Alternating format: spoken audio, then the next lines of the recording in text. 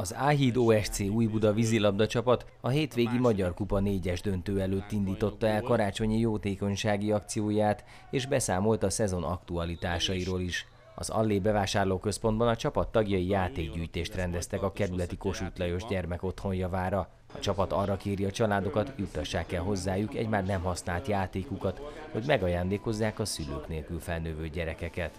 A sajtótájékoztatón a figyelem a hétvégi kupa döntőre is ráirányult.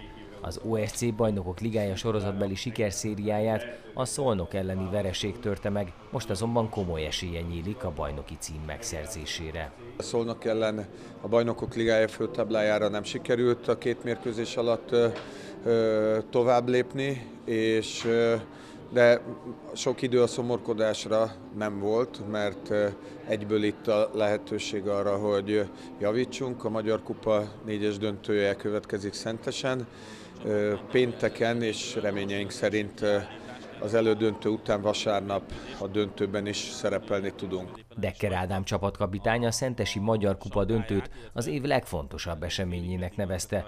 Az OSC utoljára 1974-ben játszott kupa döntőt. Most a Honvéddal mérkőzik az elődöntőben, amit papírforma szerint nyerniük kell, de nem árt az óvatosság.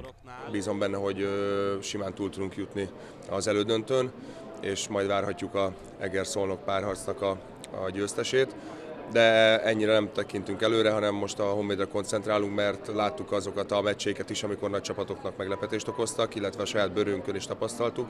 Ha sikerül a döntőbe jutás, a kupa győzelemre és a szolnok elleni revansra is esély nyílik.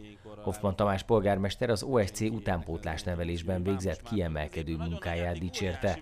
Az önkormányzat célja, hogy egyre többen vízilabdázzanak a kerületben. Minél több gyerek jöjjön, minél több család lássa meg azt, hogy ez egy nagyon jó, hasznos sportág, amelyet most már egyre jobb körülmények között tudunk Újbudán e, folytatni, hiszen ezért készítettük el azt az új versenymedencét, amely szintén a, ehhez nyújt segítséget. Becsei Péter sportigazgató büszkén közölte, másfél év alatt kilenc korosztályban nulláról 200-ra nőtt az általuk oktatott gyerekek száma. Az aktív toborzást a jövőben is folytatják. Nulla darab gyerekünk volt, volt egy nagy sportágválasztó szeptemberben Újbudán, a Kopaszigáton, ott kezdtünk el szervezni toborzót, akkor elindultunk 20 gyermekkel, elkezdtük az edzéseket a kondorosító úszodába, a mai állapot szerint több mint 220 gyerekünk van, akiknek 90% a kerületi. Tavalyi évben egy bajnokságban, idén már kilenc bajnokságban játszhatjuk ezeket a gyerekeket, tehát minden az alsó korosztálytól indul. A célunk az, hogy tíz év múlva egy ilyen szintű felnőtt csapathoz már tudjunk adni a saját nevelésű játékosokból, mert azt gondolom az egy igazi értéke lehet ennek a klubnak.